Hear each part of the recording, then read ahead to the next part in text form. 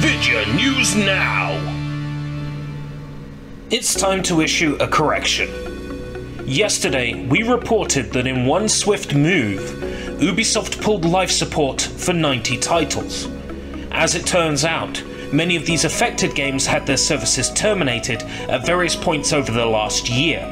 It's just that Ubisoft announced that the games had been terminated in a blog post, where it was inferred that it was a sudden thing. That said, the majority of the original story is still relevant, and it still goes to show that the digital only future you've been implied time and time again would be a timeless, forever functioning existence has ceased, just not in mere seconds. The point still stands. Why are you buying Ubisoft games?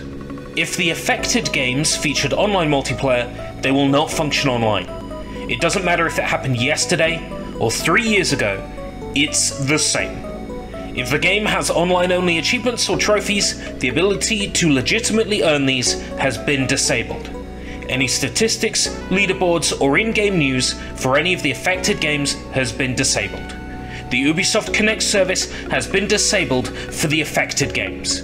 Any unlockable content that functioned through Ubisoft Connect cannot be unlocked either.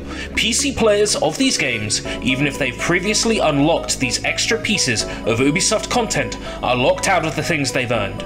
Console players, if you reset your save file, you're going to lose the things you've earned. Still, we at Vidya News Now would like to issue an apology.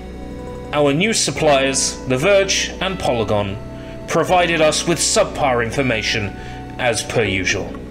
Apologies. Ubisoft didn't creep in like Greg the Grim Reaper and execute a whole bunch of games at once. It's been doing it quietly in the background. And one day soon, your favorite game may also get scythed.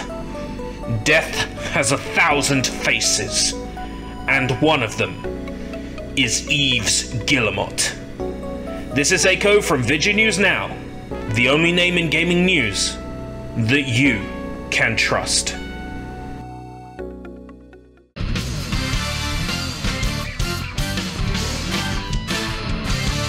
Vidya News Now.